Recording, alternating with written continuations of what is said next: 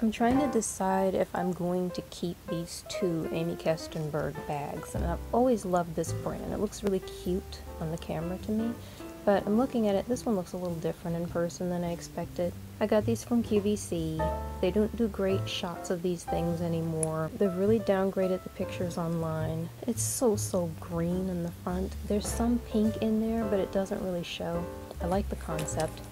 You see more of the pink in the back, but I don't really like this strange leather texture. It's not my thing. I don't know exactly what it's supposed to be, but the way you get those little bits that are sticking up it just doesn't do it for me. This one came broken. This is supposed to be a, a, a, thing, a closure where you press it on both sides to release it. This is what that's supposed to look like, even on both sides. And this part is just plain stuck.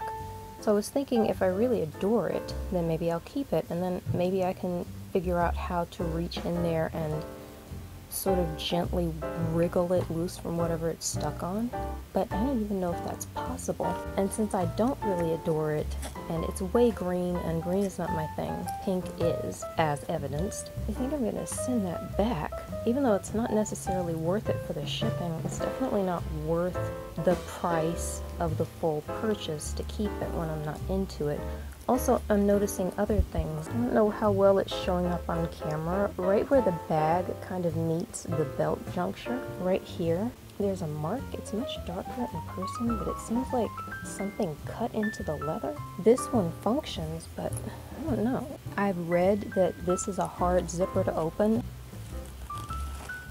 Don't know if you can hear that or see my effort.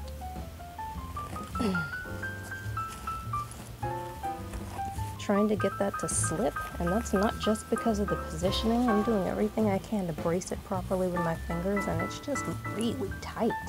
It's like the metal is just slightly too small for the size of the plastic teeth coming together inside. So yeah, it is really hard to open that interior pocket. I think that pink is really gorgeous and the leather is, but it's small enough that in order to fit my phone in, and I have a pretty slim phone, although I do keep it in a protective case, I have to keep it pretty loose around my waist, and I'm not really going to be slinging it across the front of my body because that doesn't necessarily fit my body type. These just might be two solid returns from what used to be one of my favorite handbag brands because I'm about to pack them back up and send them away.